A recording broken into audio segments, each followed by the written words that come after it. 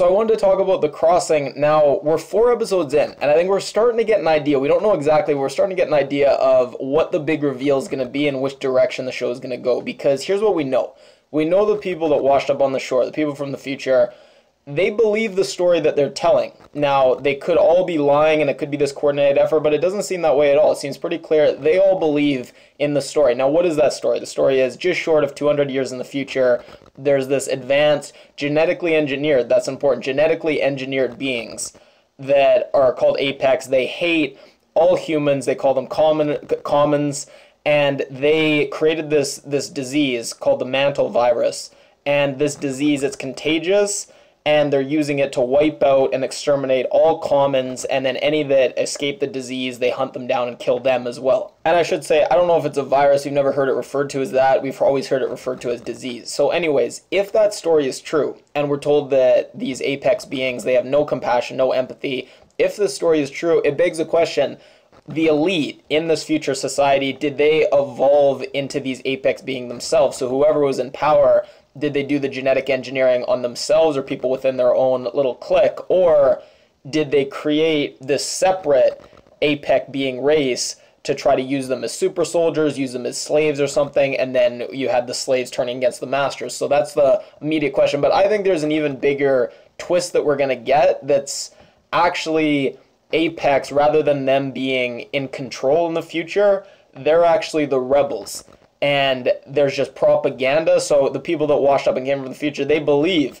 in this story, they do, but it's actually not the true story at all. And Apex didn't come up with the virus; they're actually the cure. And when they go around and people think that they're hunting down commons that are survivors, what they're actually trying to do is help help save people. And we get some evidence for this when we see Reese in the future. They're looking for commoners. Seems like they're hunting them, and they see all these dead people, and they're infected or they they died from Mantle's disease.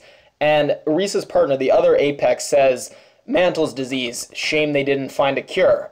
Now you can interpret this two ways. One, he's just being a dick, and he's just saying, yeah, it's too bad they're not smart like us, couldn't find a cure.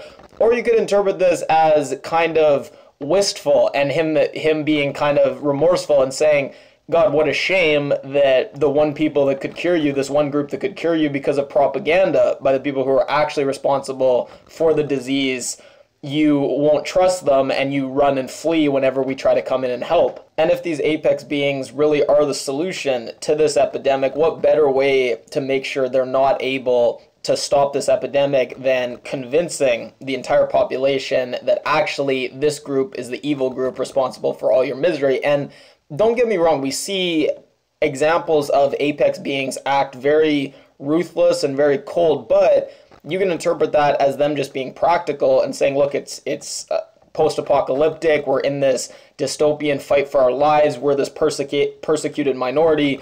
We can't afford to be compassionate. We have to be very militaristic to stave off global uh, annihilation. And then also you can say, well, maybe they are genetically bred to not have great compassion, but is that really their fault? Maybe that's just the way they were designed, and nonetheless, we have to work with them.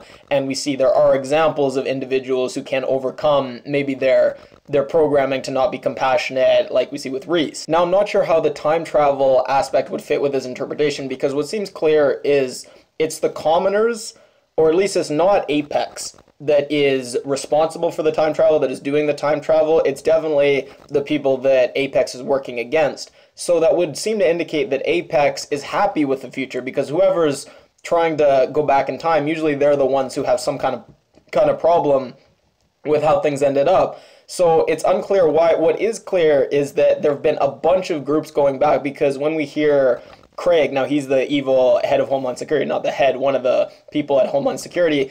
He's talking to someone above him and he's saying, look, there's I think 50,000 refugees in America right now in all these detention camps. He says 100, hundreds of de- detention camps. Now, that's not actually true. So that would seem to imply that either this alternate reality has some other kind of crisis, but much more likely all these refugees, they're actually time travelers from the future who may be unlike this group actually they didn't say this they didn't come up with the story about oh the, how they're from the future so they just came up with a better story that said oh we're you know we're refugees from this conflict or that conflict so all these all these kind of sleeper cells, all these people from the future just waiting to be activated and do something. And the people who washed up on the beach, they seem to genuinely believe that the people who told them to travel through time, they have their best interests at heart. And you see Paul, he has his wife, who is probably just the person who was their leader and told them to do this, and he says, Look, we came here, go find her, she'll know what to do. And then we see the Fed,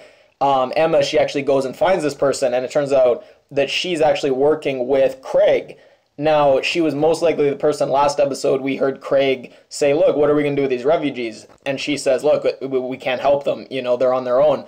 So he, Paul, he seems to think this woman, she at the very least is looking out for them, is going to help them when really she doesn't care about them at all. So again, I think you have a situation where the commoners and Apex are actually on the same side, but whoever's the real antagonist, the real bad guys, they're trying to divide and conquer and make them think that they're enemies when really the real enemy is uh, is Craig and whoever he's working with. And then Caleb, first of all, that tattoo that he has and the henchmen of Craig have, that doesn't seem like something a persecuted minority and resistance group would get. One because it identifies you as a member of that that resistance group. So no, it seems much more like something that those in power would get as a kind of sign of their their dedication to the cause and and their ruthlessness. And when he says she did what she had to do, talking about what's her name, like Heather, talking about what what Heather did, it seems like he was kind of talking about himself a bit. That he didn't actually want to kill Apex. He didn't actually want to be a part of this group that he has the tattoo of.